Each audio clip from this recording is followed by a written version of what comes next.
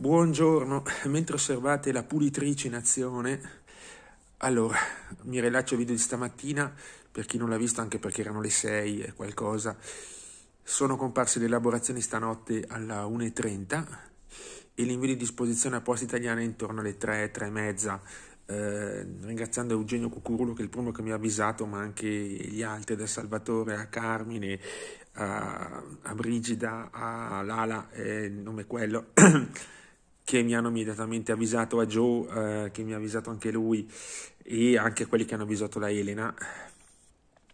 Ok, le ricariche partono a flussi a partire da domani eh, dopo le 12.30, ecco, fra, diciamo in alcuni casi alle 12.30 già ci sono caricati, quindi diciamo dopo mezzogiorno ho cominciato a controllare.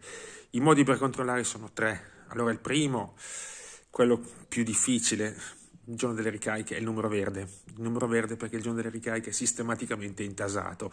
Noto che spesso è intasato anche la mattina quando le ricariche non ci sono ancora. Vabbè, lì è un problema effettivamente di eccessivo numero di contatti.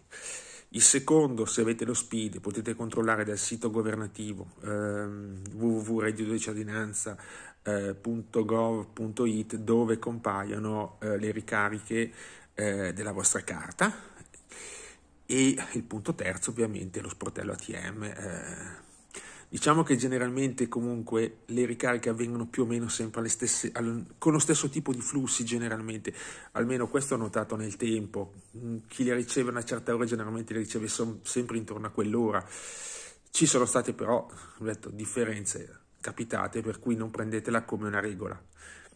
Eh, domani, nel video di domani, mi scrivete sotto quando compaiono le vostre ricariche, così tutti gli altri sanno un attimo organizzarsi eh, sperando che Post Italiane faccia tutto per bene.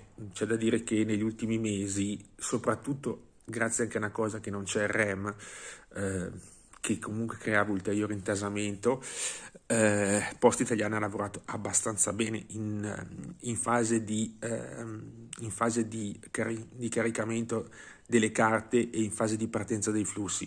Qualcuno potrebbe riceverla anche sabato mattina, la ricarica, il pomeriggio no perché forse Italiana è chiuso, altrimenti si slitta lunedì per i più sfortunati diciamo, però chiamiamo una cosa, una volta che l'IMS ha eh, fatto l'elaborazione, una volta che ha inviato la disposizione a poste italiane, è solo una questione di tempo e non di problemi che riguardano la ricarica in sé. Ve lo dico perché se ci fosse un problema andate dentro in poste italiane in, e questi cominciano a dire Email non è l'Inps, sono loro. Una volta che l'Inps ha fatto l'elaborazione e ha mandato la rendicontazione, dal 26 la, la gestione è post italiane.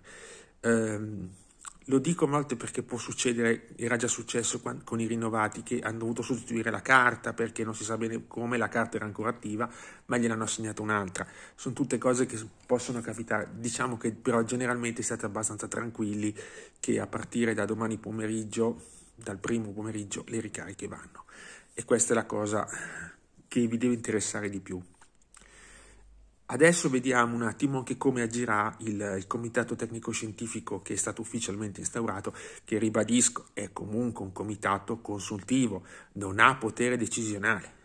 La cosa buona è che la Saraceni è una persona che ha fatto un'analisi, da sociologa, ha fatto un'analisi seria del reddito, non, non propagandistica ma seria e per rispondere alla Stefi che ieri mi ha scritto, è una cosa che anche la Saraceni ha messo in luce, c'è stata una pessima narrazione e qui bisogna anche dare la colpa ai media stessi, ma anche a chi ha presentato il reddito, dell'utilità del reddito. Se si fosse specificato bene e soprattutto se la fase 2 fosse stata gestita seriamente, ci, non, tutti questi attacchi probabilmente non ci sarebbero stati, ma c'è stata una pessima narrazione, una pessima presentazione già in fase proprio di, cioè io parlo proprio di marzo del 2019.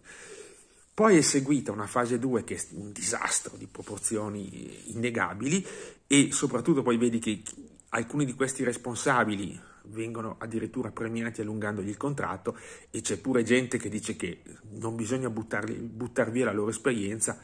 Sinceramente vorrei capire qual è la loro esperienza, non lo so, penso che tutti quanti eh, quelli che hanno avuto a che fare con loro se lo stanno chiedendo qual è la loro esperienza.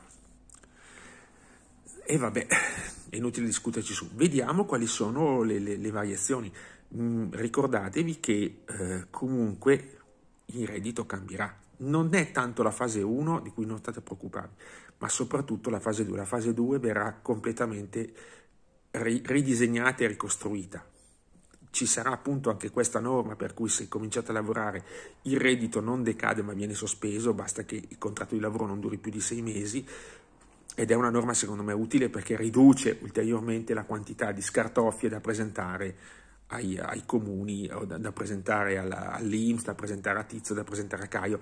Se si vuole semplificare, queste cose sono la base, cioè semplificare, ridurre al minimo la necessità di ripresentare le stesse domande.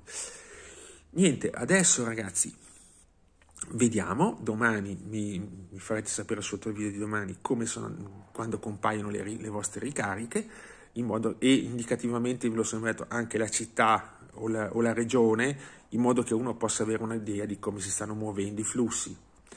Eh, io per oggi penso di aver detto tutto. Vi saluto, forse dopo ci sarà un video sul cinema, eh, dipende molto da come sono messo e dal tempo che ho.